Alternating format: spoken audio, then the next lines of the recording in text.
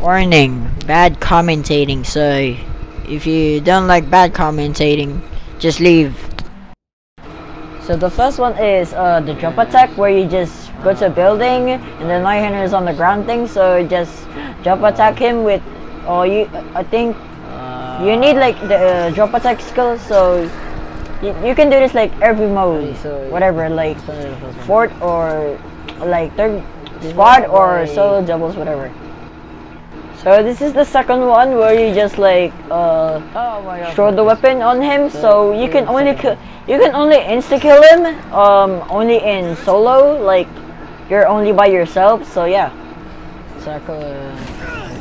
So the second one is like uh it's not that hard so but it does glitch. So all you just gotta do is tackle the tackle the Nighthunter, then throw the one-handed weapon, and yeah, it will kill him. And by the way, this only works on like it. O- this only works on solo or by, when you're by yourself. So yeah. Come here. So this is a pretty hard one. So you, all you gotta do is like bludgeon the Nighthunter and.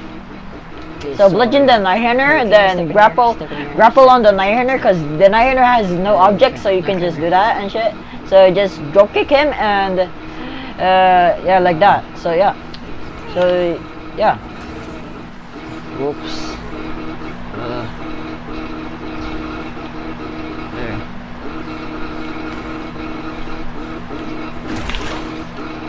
Why is this so hard? So this is a hard one, so yeah. Uh yeah, if you can do this on a on a real game, that'll be so great. Like heck, you're you're such a good guy.